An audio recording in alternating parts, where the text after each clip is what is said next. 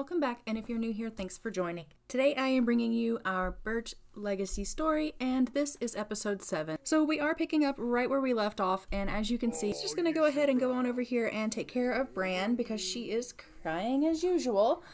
And so we'll get him to just give her a little bit of love, and um, Raven is downstairs just kind of reading up on, you know, light reading. You know, a little magic here, a little magic there, you know. so she's just downstairs, kind of looking over a spell book and kind of familiarizing herself because, as we know, all of this is really new to her. She has no clue what's going on, and she's like, I'm just gonna jump headfirst right in. I don't think she really knows what she's doing, but you know, this is the Raven that we all love, and that's just the way it goes. So that's what is going on currently in the family. And so let's go ahead and um, see. It looks like also he. Um, Akira just needs to get himself something to eat. So he may go downstairs and I'll just have him grab a bite to eat. He's like, I love you so much. I love like how he is with Bran. Like they're so cute together. So yeah, as you can see, she's just delving right in with the spell book. And when she's done with that, I'm just going to have her come out and deal with some of our chickens. This coop is a nightmare. I don't know what it is about me in these coops, but in every single series that I have going on that has chickens, the coop is green. So I am currently thinking it's less of a Sims thing and more of a Misty thing. I mean, I could be wrong, but um, what is it that they say? The proof is in the pudding? All right. And I am going to go ahead and just check here. It looks like our bugs are doing great, so at least, you know, I'm doing something right. And whatever. I'm just going to go ahead and have them sit down here together and they're going to talk. I did get them to do that um, selfie, so I think I need to change that photo out. Yeah, I do. So I am just going to change that photo out to the selfie that they took um, recently because it's got their updated look. And of course, we want to have that because the first picture that they took was when she lived in the city and he hadn't had his makeover yet. So I just want to get an accurate depiction of them in their family photo here at the house. So I'm just going to pop that one back into our inventory and then we'll put a new one up and that will be great.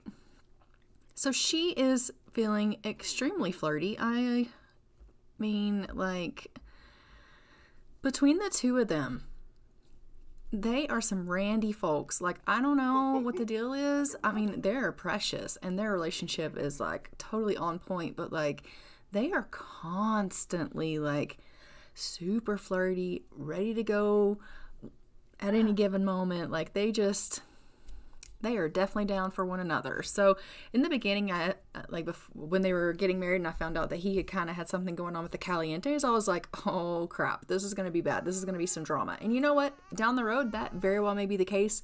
Considering they also have a bit of a romantic relationship, he has two babies with her. But I can tell you from watching him with Raven, those two have something extremely special. I don't think that um, the Caliente girl is going to be able to get in between them whatsoever.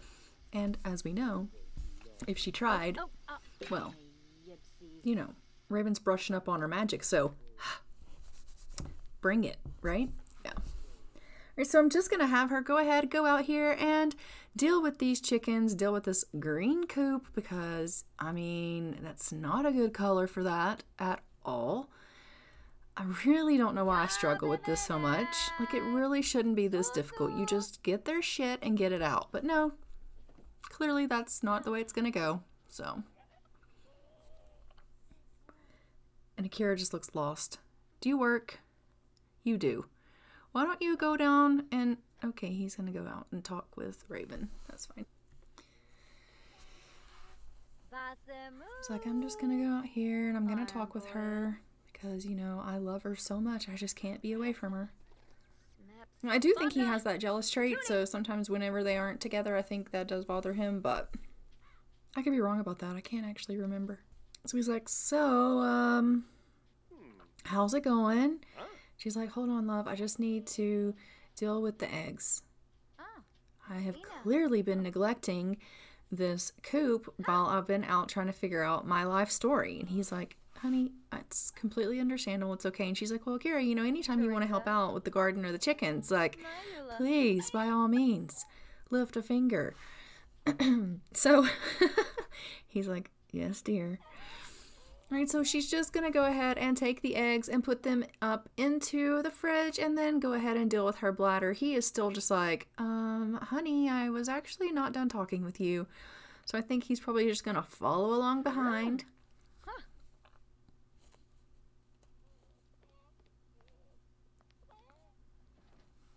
And I also just want to go ahead and give Raven a little bit of an updated look. It's been we are on currently on episode 7, so I do want to just change her um, up just a little bit. I'm going to change her outfits just a tiny bit and maybe give her a new hairstyle. I think she's precious, but I just think it's time for a change. Sometimes I just kind of need some change going on in um, kind of what they're wearing and what they're doing. So I am going to go ahead and just hop into CAS really quick and give her a updated look because I think that is important just to keep things fun. And obviously, it does, um, because he has to go to work, I am going to go ahead and get Akira just to work on a little bit more programming because I want him to go ahead and get that up to level 2 so that at some point soon he can go ahead and get a promotion because as we know, they don't necessarily need the money, but I mean, you never know what our future is going to bring us. Um, I do know that if they have any more kids, we are definitely going to have to get a different house because I can up like upgrade the um, current nursery and make it into a taller room. That's not going to be an issue. But if they um, end up going ahead and continuing on this path of doing whatever they want whenever they want in the bedroom, then I am worried we are going to end up with another kid. And this house is not big enough for a family any bigger than the one child. So we're definitely going to need to make sure we have money to move forward in the future. Why'd you do that? That's not where your plate goes. I'm putting it right in your inventory. You can throw it away where it belongs. She's like, I'm busy, okay? Can you not see? I'm practicing with my new wand. So as you can see, she is getting a lot more confident and just kind of going out and doing what she needs to do with her magic. She's like, I think I've got this. I know what I'm doing. This is easy peasy lemon squeezy. It's not. It's not, Raven. You have no clue what you're doing. Really. None. She's like, watch this. Does someone that doesn't know what they're doing know how to do that? Ha. Really? If you show me something that's actually worthwhile, then I'll believe you. But at this current present moment, you have no idea what you're doing. None whatsoever. Okay, so we are actually just going to go ahead. I'm going to get her to go over to Micayla's. So we had in the last um, episode kind of decided that she definitely needed to talk to Micayla. Okay, so we are here at Micayla's, and as you can see, it is snowing quite hard, so they're gonna go ahead and get themselves inside because it's a blizzard. Gotta love winter, right? Like they're really having like a struggle um, getting to the door, but as soon as Micayla gets her butt in the house, I can knock on the door and we can go ahead and be granted entrance. So she's like, "Hello, is anyone? All right, thanks. I'm coming on in." So I am just gonna go ahead and get Raven to kind of go over to Micayla and just be like, okay, um, I realize that I it's short notice that I'm here, and um, not to like just spring things on you, but the first time that I saw you, I told you that I thought we were related, and I still stand by that. I think we're related, and I love that we've grown closer. I love that we're friends, um, and I hope that you can trust me enough to go ahead and be honest with me and just tell me like, are we related? Because there's a lot of things going on in my life that don't make sense and don't add up. And I wasn't like this before I met you. And I don't know if it has something to do with you coming into my life or what the deal is. But all I can tell you is, ever since I met you, things have really been turned upside down. So I do think Micayla is just going to kind of come out and be like, we are related. You are right about that. And Raven's going to be like, well, why didn't you just tell me that? And she's like, well, you know, there's a lot of things, um, unfortunately, that you don't know. And part of that is what we are. And um, I was not supposed to tell you about that. You were supposed to just accept the house and live your life. And she's like, hold on a minute. What do you mean I'm just supposed to accept the house and live my life? If you spent your whole life thinking that you were orphaned and you didn't know who you came from or and found out that there were people relatives of yours that were alive that you had just inherited a house from, wouldn't you want to question that? And she's like, you know, I guess, but honey, we're not like other people. So, I mean, I can understand you don't know this. You don't realize, but we are special. Well, special how? What do you mean? Well, long, long ago, and she's like, oh, what are you talking about long, long ago? Like, you're my age. And she's like, no, honey, actually, I'm not. I actually am centuries older than you. And she's like, well, you don't look it. And she's like, well, I realize that, but it's because I'm immortal. And she's like, well, what? What do you mean you're immortal? She's like, well, I'm, I'm immortal. We live forever. Well, what are you? Okay, well, I am actually your great, great, great, great, great aunt. And she's like, what? yeah, I am. And she's like, oh my, how does that work? Like, I don't understand. And Micayla's going to be like, what you don't seem to understand is that I am not really the person that needs to be telling you this. Well, who can? Who else is around? Well, unfortunately, um, most of our people were killed, and I am actually your only living, surviving relative at this point. Um, and she's like, Well, I thought you just said we, we were immortal. And she said, No, I said I am immortal. Well, well, how are you immortal? Well, because I grew in my strength and my power, and I have given myself immortality. And I did that because I was basically given guardianship over looking after you and making sure that you were okay and that you wouldn't stumble upon anything that could put you into danger. But as we can see, um, you truly are a birch. And she's like, I don't even know what that means. I don't understand any of this. And she's like, No, I understand that, but you will. And she's like, How about we duel it out?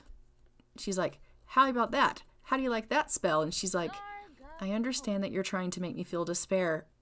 And honey, I don't need you to put a spell on me for me to feel despair about this. You were never supposed to find out about where you've come from. You were never supposed to know any of this. You were supposed to be protective, and I failed. And now we do have to have this conversation. I do have to tell you that we're related, but it isn't my place to tell you what you are or where you come from. That is someone else's place. And she's like, Well, whose place is it? And she's like, Well,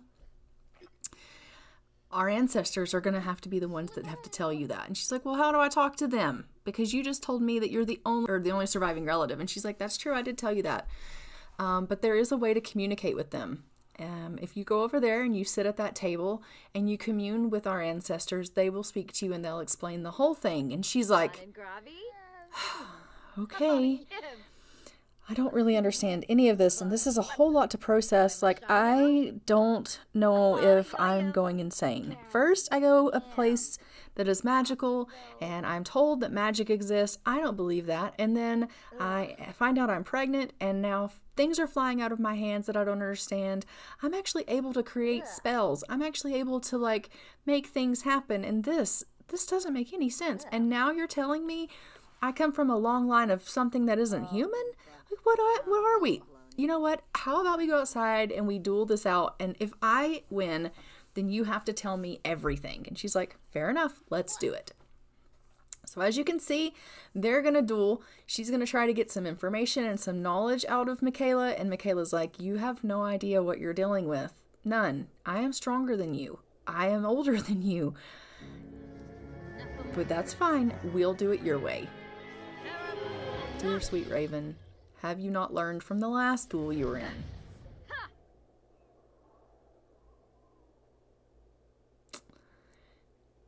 And as you can see, she is much stronger than Raven. oh, Raven, that's twice.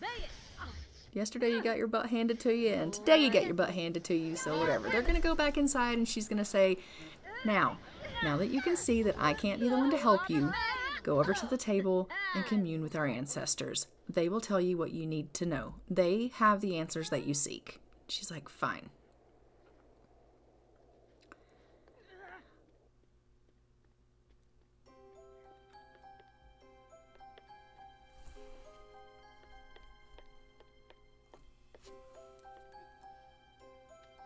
An herb alfness. Yermish. Ura. Yermish. Febine Bivaz. Koya Galang.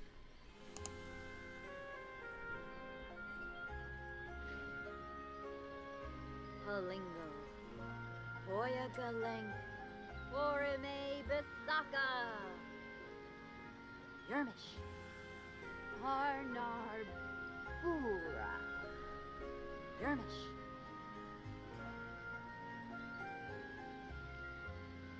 Silni of Farash. Oh. Slefinosh. Dodova.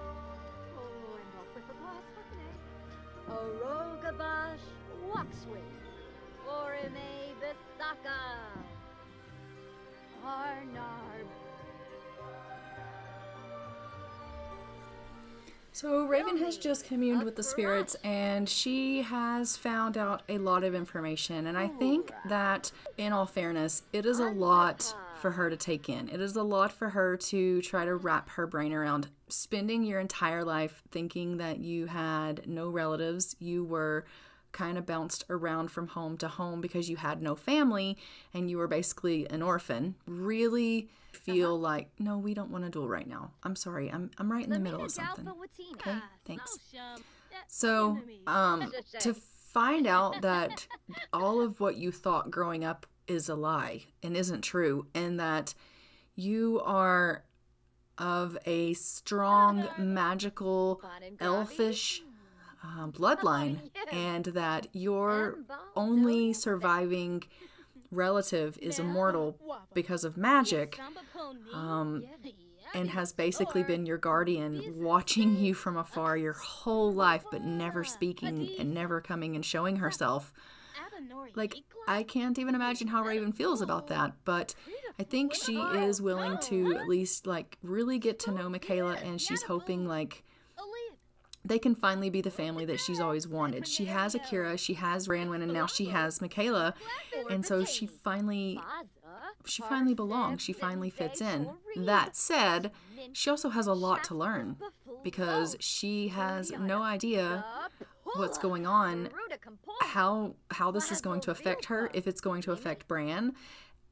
And she's just like, I really appreciate you taking the time to talk to me and allowing me to find these answers. I I really want us to be close and be family like family's supposed to be, and I hope you're part of Bran's life and just thank you so much for for opening the door and at least being honest with me. So she's just going to go ahead and head on home and contemplate kind of what all she has just um, kind of found out and I think she has a decision to make as well in the sense of like, does she tell Akira that she's different? Does she tell Akira that, you know, all of this stuff is true, or does she keep it secret? Because unfortunately, her ancestors were killed because of how they were and who they were, and people were scared of them. And if she tells Akira and Akira were to tell anyone else, it could be very dangerous for her and Bran. Okay, so we have arrived back at the house, and I think she is just like, okay, I finally know. And you know what? I was right. I am going to tell Akira that I was right all along, and I am related to Micayla, and that we have a larger family now because we have her. And I don't know what I should do about the other stuff. Maybe I maybe I should just keep that to myself for a while. So she isn't going to tell Akira about the fact that she is an elf. She is not going to tell Akira that magic is real and that she comes from a very, very strong bloodline. But she is going to tell him that she has found out that Micayla and her are related, that she is a very distant relative, um, but they are related. She clearly can't tell him that he that Micayla's hers her great great great great great great aunt um, and is still alive because that obviously is going to tip off like okay, something about you guys is weird, right? Jester. That's cute. Oh, there's another one. We'll name that one uh, Chester. Jester and Chester, the twin chickens. Or whatever. It's fine. So, um, yeah, there is a lot that she has to think about, a lot that she has to worry about because we don't know yet what. Here we go again with this baby through the skull thing. Like, I don't even with you.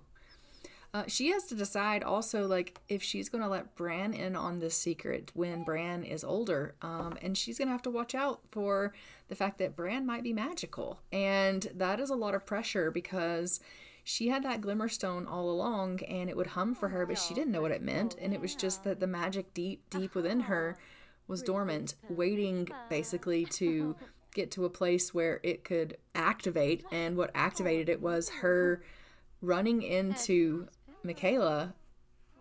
The magic in her understood and recognized the magic in Micayla, and that's what activated it. And all of these things started happening, and now puts them all in a little bit of danger because Micayla and her were never supposed to cross paths. She was supposed to guard her from afar. As you can see, Akira is home. The first thing he has done when he's gotten home, even though he is shattered from work, is come in here to love on Bran. And we're just to go ahead and give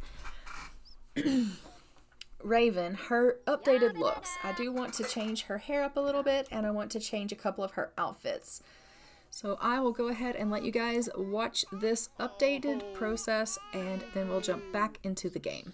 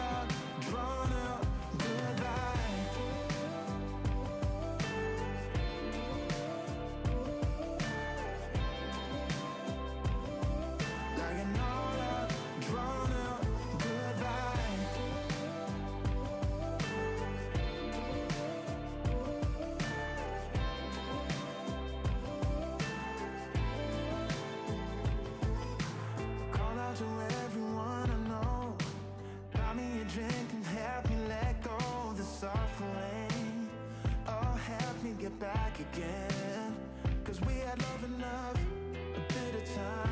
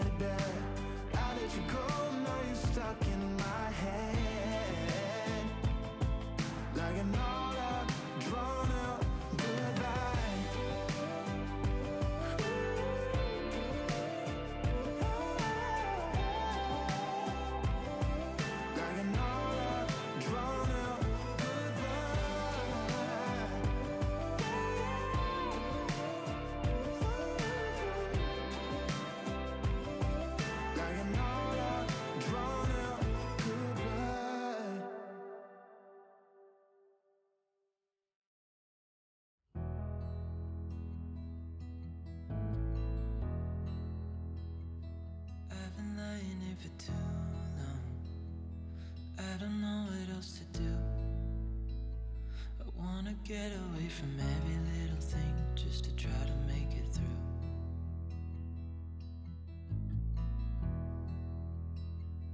I've been thinking about my options, every detail in my head.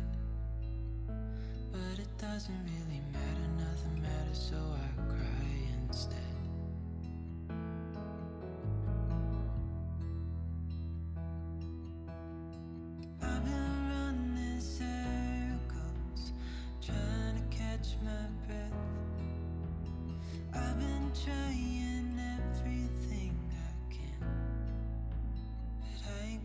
nothing left.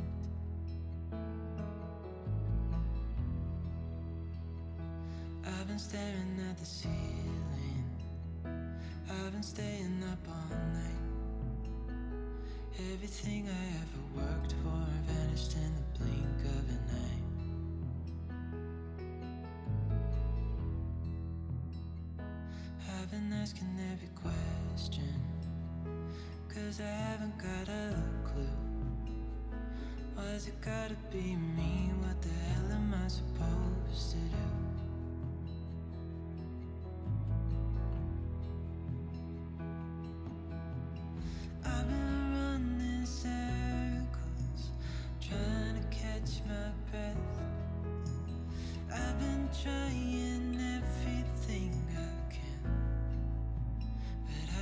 Nothing left.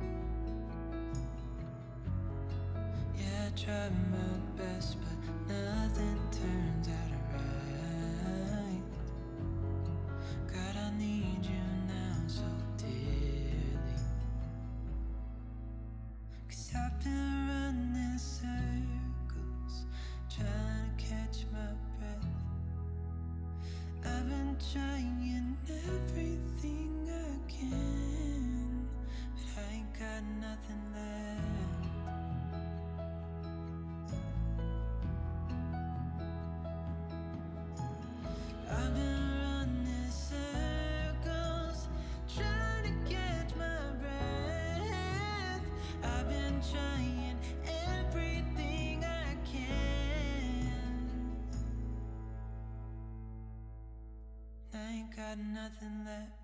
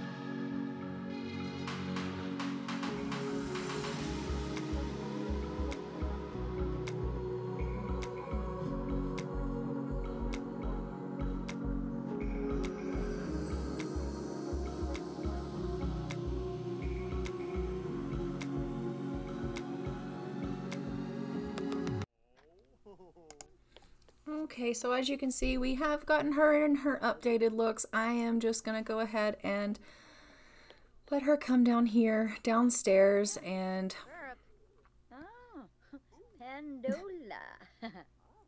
she's like, okay, yeah, this is great. She's like, I don't even know how to start to begin to tell Akira what I need to tell him, but I'm gonna go in here and I'm just gonna tell him, like, hi, honey, like, how are you? And whatever, like, it'll be fine. I'm gonna make us some tea and then we can sit down and we can have a chat.